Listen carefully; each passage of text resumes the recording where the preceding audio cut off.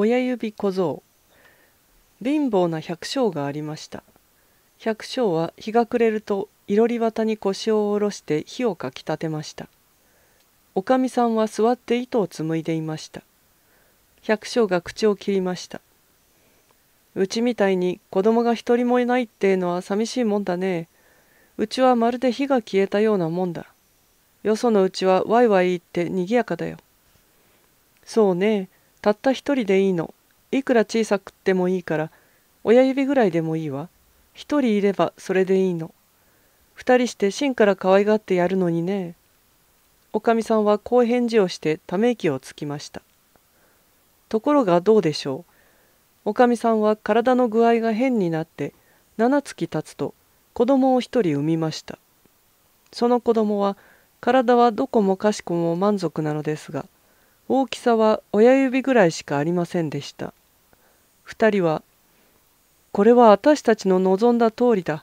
可愛がってやりましょう」と言ってその形からして親指小僧という名をつけました。二人は自用物を欠かさずにやったのですけれども子供はちっとも大きくならずいつまでたっても生まれた時と同じでした。それでもその子はいかにもさかしい目つきをしていて間もなく知恵のあるすばしこい子供になりすることなすこと何でもうまくいくのでしたある日のこと百姓は森へ木を切りに行く支度をしてこれで誰か後から車を持ってきてくれるものがあるといいのだがなあと独り言を言ったものです。なんだ父さん？と親指小僧が呼びかけました。車なら僕がきっと持ってきますよ。安心してらっしゃい。ちょうどいい頃に森の中へ持ってっときますよ。これを聞くと百姓が笑って言いました。どうしてそんなことができる？お前みたいなちびっこじゃ馬の手綱が取れやしないよ。そんなことなんか母さんが馬を車へつけてくれさえすりゃ何でもありゃしないや。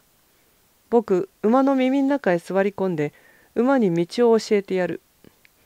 そんなら一つやってみるか父親もいい返事をしました。時刻を計って母親は馬を車につけ親指小僧を馬の耳の中へ入れてやると小僧は「ゆうよほっと右へはーる左へ」と掛け声をして馬を歩かせました。するとまるで親方が手綱を取っているようにちっとも間違わず車は正しい道を通って森へ向かっていくのです。車がちょうどとある角を曲がって小僧が「はーるはーる左へ左へ」と声をかけた途端に知らない男が二人向こうからやってきました「おかしいぞ」と一人が声を立てました「どうしたんだい車が来てよう。馬方が馬に掛け声をかけてるが肝心の馬方が見えないぜ。こいつただごとじゃないぞ、ともう一人のが言いました。車の後からくっついてって、車の止まるとこを見てやれ。ところが、車は滞りなく森の中へ入り込んで、ちゃんと木の刈り出されている場所へ着きました。親指小僧は父親を見て、それごらん、父さん、僕ちゃんと車を持ってきたでしょ。さあ下ろしてよ。と呼びかけました。父親は左の手で馬を押さえて右手で耳の穴からちっぽけな息子をつまみ出しました。息子はいかにもウキウキとして一本のわらしべへチョコなんと腰をかけました。二人連れの知らない男は親指小僧を見て呆れ返って物が言えません。やがて一人が連れを脇へ呼び出して言いました「なあおいこの豆蔵を大きな町へ持って行って見せ物にすりゃ俺たちもとんだお釜を起こすかもしれねえぞ。なああいつを買おうや。二人は百姓のとこへ行って話しました。あたしどもにこの小さい男を売ってくださいな。うちでいい日を送らせてやりますよ。ダメですよ。と父親が返事をしました。これはな、わしの大事な大事な子で、世界中の小金を積まれたって、売り物なんかにするこっちゃない。ところが親指小僧はこの取引の相談を聞いていたので父親の上着のひだを伝わって這い上がってくると父親の肩の上に立って「父さんいいから僕を手放してくださいきっと戻ってきますよ」と耳こすりしましたそこで父親はお金をしこたま取って息子を二人連れの男に売り渡したものです。お前どこへ座る？と二人が小僧に言いました。何？構わない。おじさんたちの帽子の縁へ乗っけてください。あっちこっち散歩して辺りが見物できていい。おっこちっこありませんよ。二人は小僧の言いなりにしました。そして親指小僧が父親に別れを告げるのを待って小僧を連れて出かけました。歩いていくうちに薄暗くなってきました。すると小僧が「ちょいと下へ下ろしてようんこが出たい」と言い出しました。まあいいから上にいなよと自分の頭の上に小僧を乗せている男が言いました。上でやられたってこっちはへっちゃらだ。どうかすると鳥なんぞが俺の頭へ落とし物をすることがあらね。ダメだよと親指小僧が言いました。自分のことは自分がよく知ってる。早く下ろしておくれってば。男は帽子を取って小僧を道端の畑へ置きました。小僧は土の塊の間をちょっとあっちこっち跳ねたり這い回ったりしていましたがやがて野ネズミの穴を探し出していきなりその中へ潜り込みました。ごきげんよう皆さん。ご遠慮はいらない。僕に構わずお帰りなさい。小僧はこう言って嘲笑いました。二人は駆けつけてきてネズミの穴へステッキを突っ込んでみましたが無駄骨折りでした。何しろ親指小僧はずんずん後びっしゃりに潜り込むしそのうちに間もなく真っ暗になったので二人はプンプン怒りながらいやおうなしに空の財布をお土産にして家へ帰っていきました。二人が行ってしまったのをけどって親指小僧は地面の下の細道から這い出してきました。真っ暗闇で畑を歩くのは危ない。まごまごすると首や足を追っぺしょるぞ。こう言った時、それこそまぐれあたりに、マイマイつぶろの空っぽの殻へぶつかりました。ありがたい、天のお助けだぞ。こん中で夜明かしをすりゃ大丈夫だ。小僧はこんなことを言って殻の中へ座り込んだのですが、やがてのこともう少しで寝てしまおうとした小僧の耳に二人の男の通りかかる足音が聞こえてその一人が「あの金持ちの坊主から銭や銀の器を巻き上げるにはどうしたらよかろうな」と口を聞きました「そんなことなら僕にいい知恵があるかもしれないぞ」と親指小僧が横合いから大きな声を出しました「なんだありゃと一人の泥棒がぎょっとして言いました。誰だか何とか言ったぜ。二人は立ち止まって耳を澄ませました。すると親指小僧がまた「僕を連れておいで手伝ってあげるよ」と言いました。一体どこにいるんだ地べたを探してごらん。声がどこから出てくるか気をつけてみなよ。と小僧が返事をしました。こう言われて泥棒たちはやっとのことで小僧を見つけて拾い上げました。なんてちびっこだ。どうして俺たちの手伝いをするつもりなんだい。と泥棒たちが言いました。いいかね？と小僧が返事をしました。僕が鉄の棒の間から坊主の部屋へ入り込んで、おじさんたちの欲しいものを出してやるのさ。よし来たと泥棒たちが言いました。貴様のお手並みを拝見しよう。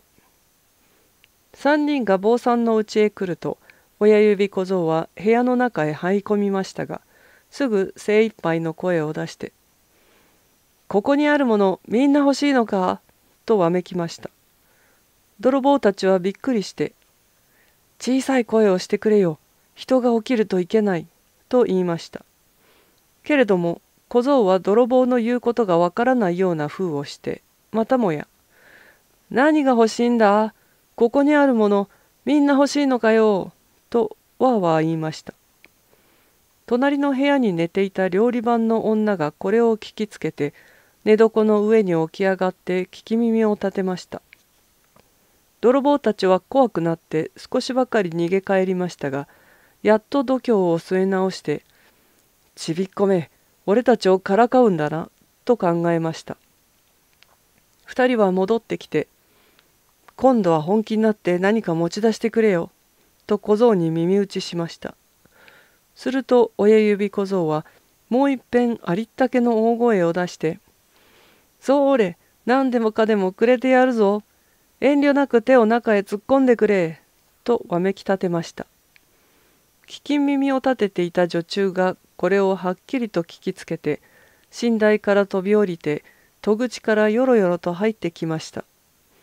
泥棒たちはそこを逃げ出すとかっこ嵐の夜手下を率いて天がけると言い伝えられるあのかっこ閉じ狩りの魔王に追いかけられでもするように一目散に駆け出しました。女中の方は何にも見当たらないので明かりをつけに行きました。女中が明かりを持って入ってくるのとすれすれに親指小僧は見つからないように外へ出て納屋に隠れました。女中は飲み取り眼で隅々を探してみましたが何にも見つからないので目も耳も確かだったのだけれどやっぱり夢を見たのだろうと思ってまた寝床へ入ってしまいました。親指小僧は干し草の茎の中をぐるぐる上がったり降りたりしてうまい寝場所を見つけたので夜の明けるまで十分に休んでそれから二親のところへ帰っていくつもりでした。ところがとんでもない目に遭うことになりました。全く世の中にはつらいこと難儀なことがたくさん湧き出してくるものですね。夜のしらしら明けに女中はもう寝床から起き出して牛に海馬をやりに行きました。一番先にやってきたのは納屋でここで干し草を一抱えそれもかわいそうによりによってその中に親指小僧が転がって寝ていたものをつかんだものです。小僧は死んだように寝込んでいたのでちっとも気がつかず。目の覚めた時には目牛の口の中に入っていました。牛は小僧を干し草と一緒にパックリやってしまったのです。こいつはたまらん。どうして布ざらしの桶の中へ落っこちたんだろう。と大声を上げましたが間もなくどこにいるのだか見当がつきました。居場所が分かってみると歯の間へ挟まってくたくたに噛みつぶされない用心をするのが何よりのことでしたがやがて干し草と一緒に胃袋の中へ滑り落ちないわけにはいきませんでした。このちいっぽけな部屋は窓を開けるのを忘れてると小僧が言いました。お天道様は差し込まないし明かりも持ってこられないしな。どう見てもこのお宿は小僧の気に入りません。それに一番困ったのは新しい干し草が後から後から戸口から入ってきているところがだんだん狭くなることでした。小僧はとうとう苦し紛れに「もう新しい海馬をよこしちゃいけないもう新しい海馬をよこしちゃいけない」と精一杯の声を張り上げました。女中はこのとちょうどこの時お乳を絞っていましたが人の姿が見えずに話が聞こえしかもそれが夜中に聞いたのと同じ声だったのでびっくり仰天。椅子から滑り落ちてせっかく絞ったお乳をこぼしてしまいました。女中は足を空にご主人のところへ駆けつけて「大変大変旦那様うちの目牛が口を聞きましたよ」と大声を上げました「お前気が触れたな」坊さんはこう受け答えはしましたがともかく何がどうしたのか見聞してやれと思って自分で牛小屋へ行ってみました。ところが中へ一足踏み込んだ途端に親指小僧が「もう新しい海馬をよこしちゃいけない。もう新しい海馬をよこしちゃいけない」と怒鳴りました。これを聞くと今度は肝心の坊さんが肝を潰したどころか悪魔が牛にとっついたに違いないと考えて目牛を殺すように言いつけました。そこで目牛は潰されて小僧の潜り込んでいた胃袋は牛や何かのうんこの山の上へ放り出されました。親指小僧は胃袋の中を通り抜けるのに大骨折りをしました。やっとのことでそれでもとにかくあがきのつくところまでこぎつけましたが頭を外へ出そうとした途端にまた新しい不幸せが起こりました。お腹の減ってる狼が駆け寄って牛の胃袋を丸ごとぐーっと鵜呑みにしてしまったのです。親指小僧は勇気を失わず狼のやつ案外話がわかるかもしれないぞと考えたので太鼓腹の中から「狼さん僕君の素敵な食べ物のあるとこを知ってるぜ」と呼びかけてみました「どこで取れるんだ?」と狼が口を聞きました「こうこうこういううちさうちん中へはね下水から這い込まなくっちゃならないんだけどお菓子でも豚の燻製でも腸詰めでも君の食べたいだけいくらでもあるよ。小僧は自分の父親の家を事細かに教えてやりました。狼は二度とは言わせず夜中に下水から無理無体に入り込んで食べ物のしまってある部屋で思う存分平らげたものです。お腹いっぱい食べてしまってから逃げ出そうとしましたがお腹が膨れすぎたので狼は千と同じ道を通って外へ出るわけにいきません。小僧はこれを当てにしていたので思い切って暴れるやらわめくやら狼のお腹の中で大変な騒ぎを始めました。静かにしないかと狼が言いました。貴様うちの者を起こしちまう。何言ってんだいとチビがやり返しました。君は腹いっぱい食べたじゃないか。僕だってふざけるさ。小僧は精一杯の声を出してまたもやワイワイワイワイ騒ぎ出しましたこの騒ぎで父親と母親がとうとう目を覚まして食料部屋へ駆けつけるなり隙間から覗いてみましたすると中に狼が我が物顔に収まっているのが見えたので二人は引っ返して亭主は斧をおかみさんはかっこ立っていて使う柄の長い大釜を持ち出してきました。お前後ろにいなよ。中へ入ると亭主が言いました。俺がキャツを一つぶっ食らわして、そんでまだくたばらねえようだったら、お前が引っ掛けてキャツのどてっぱらかっさばくだぞ。すると親指小僧が父親の声を聞きつけて、父さん、僕ここにいる。狼のお腹の中に潜ってるんだよ。と大きな声をしました。父親は大喜びです。ありがたい、大事な小僧が帰ってきた。